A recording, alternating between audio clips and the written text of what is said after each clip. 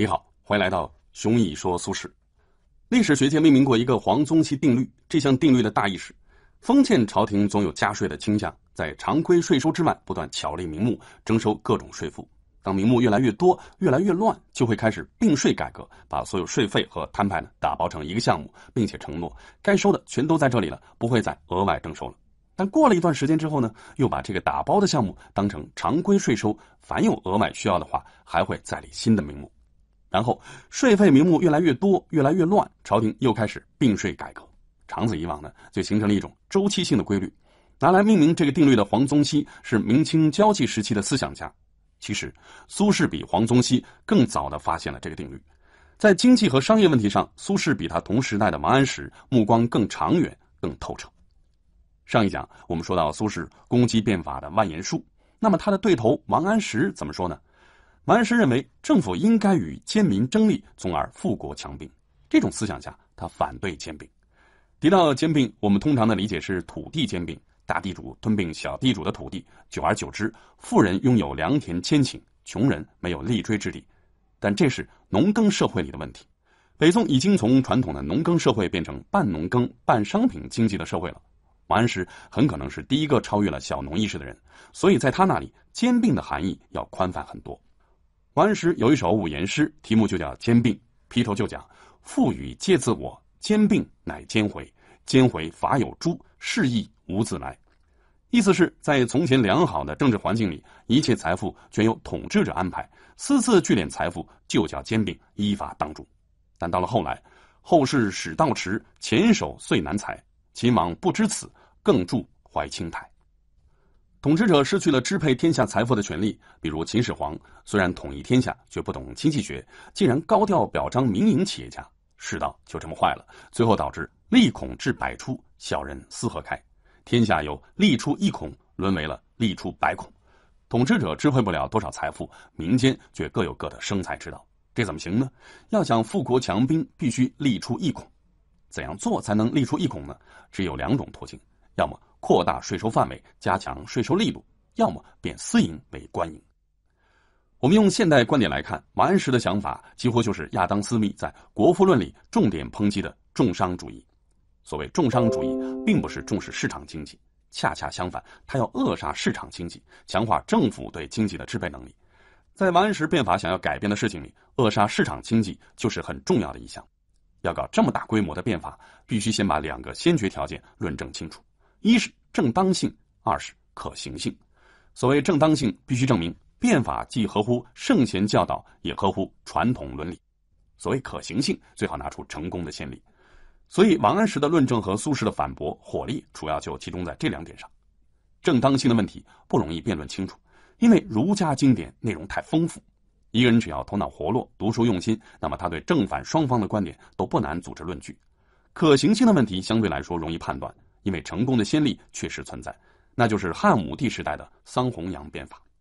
汉武帝也像北宋政府一样，遇到过严重的财政困难。汉武帝启用了商人家庭出身的桑弘羊，搞了一系列的改革，完全消除了财政赤字。在桑弘羊的新政里，最著名的就是盐铁专卖。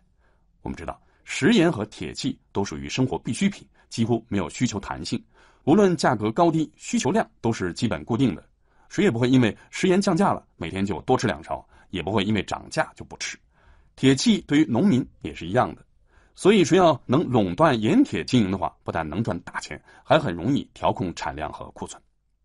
桑弘羊所做的就是政府垄断，而且是从生产到销售一条龙式的垄断，只有在偏远乡镇，政府懒得设置销售点的地方，才会发给小商人特许经营权。当然，小商人为了得到这项特许经营权，必须缴纳重税。对商人征收的重税，既能够增加政府收入，又能够让政府得到重农抑商、缩小贫富差距的好名声。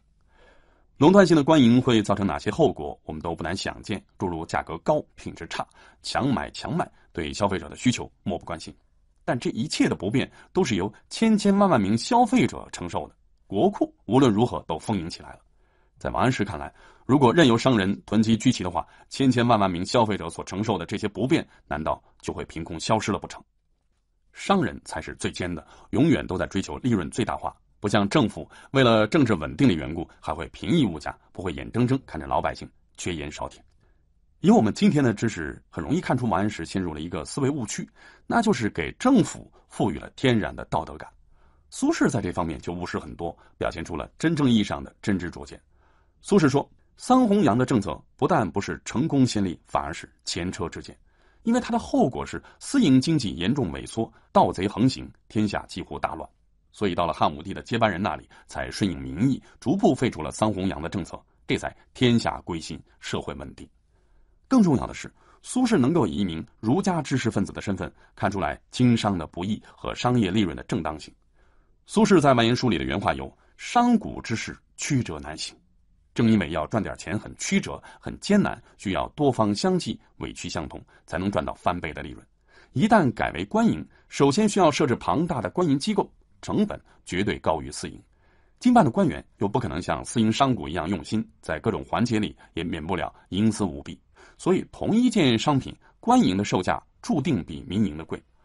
如果对于官营机构只看利润不看隐性成本，那就好比有一个为主人家放牧牛羊的仆人，偷偷用一头牛换来五只羊，他不告诉主人那一头牛去了哪儿，去拿那五只羊找主人邀功。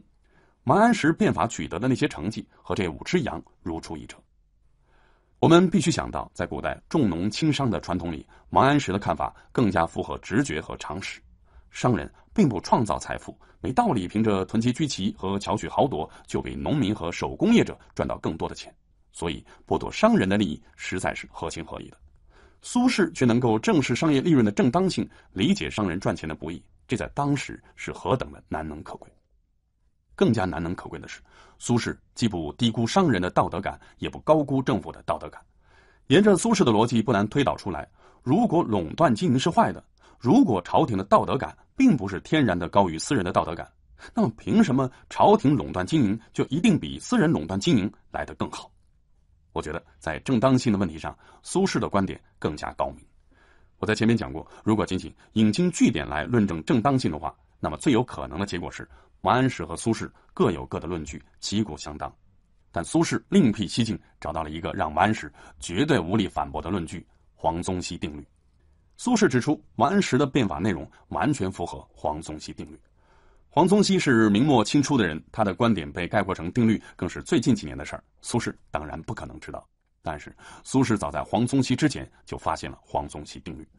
苏轼认为，一项制度的确立会产生长远的影响，所以制度的设计者既不能短视，也不能一厢情愿的把制度的执行人都想象成既善良又能干的人。这一点倒是可以呼应上他在《丝织论》里面的命题。描绘社会蓝图的时候，必须极尽周详。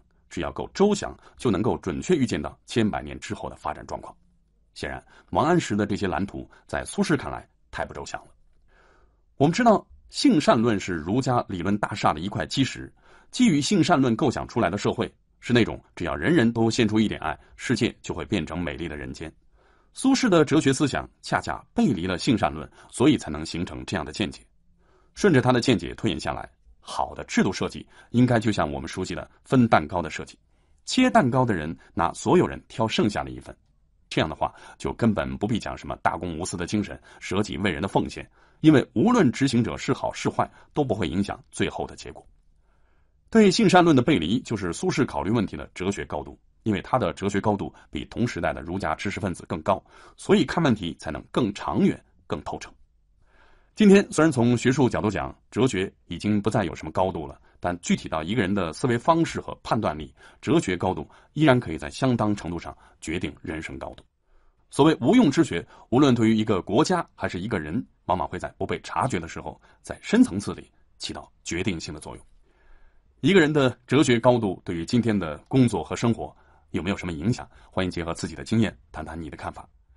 在北宋熙宁变法带来的旷日持久的党派斗争中，苏轼和王安石这两位才学、见识、智慧同属当时第一流的杰出人物针锋相对，他们俩到底有没有中间对错之分呢？下一讲我们就来说说这个问题。